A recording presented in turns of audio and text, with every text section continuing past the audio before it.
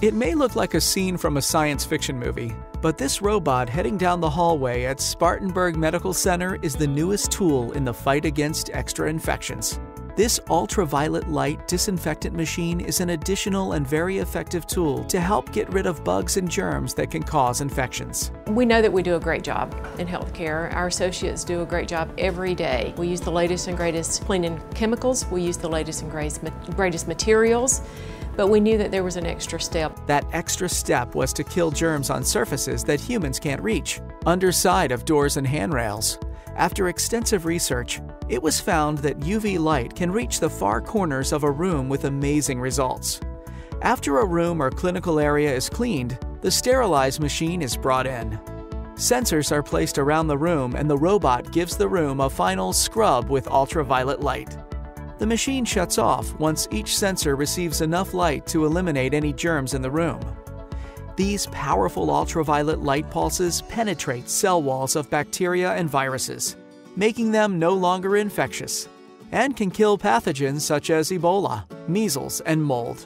So one of the cool things about the disinfector is that it kills germs at the microscopic level. It actually destroys the, um, the genetic code of a cell and the cells disintegrate and die. So those bad germs, those bad bacteria, um, just can't can't reproduce, and uh, they're they're gone completely. The machine captures all sorts of data. Uh, the impressive thing about our equipment is that it tells us which room we did, who operated the equipment, when we need to go back and do the, the room again. There are four robots two at Spartanburg Medical Center, one at Pelham Medical Center, and one at Spartanburg Hospital for Restorative Care. The new technology was made possible through a $78,497 grant received from the Spartanburg Regional Foundation. Throughout our system, and that includes our acute care hospitals, our um, nursing facilities, and even in our outpatient practices, we're committed to reducing infections. It's something we talk about at frontline level all the way up to the board level every single month. It's very, very important and it, it is the sort of thing that matters to you as a patient, to your families.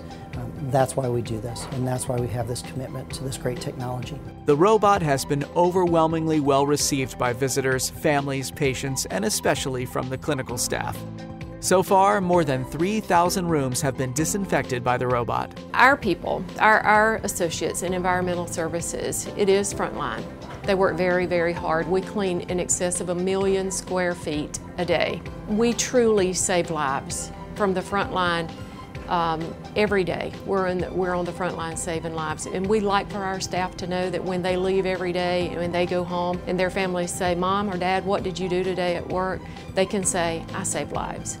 And um, we're very proud of, of, the work that they do and, and, and the support that we've received with this, with this project. It has, been, it has been overwhelming. Using cutting edge technology to offer the safest and cleanest environment possible at Spartanburg Regional Healthcare System.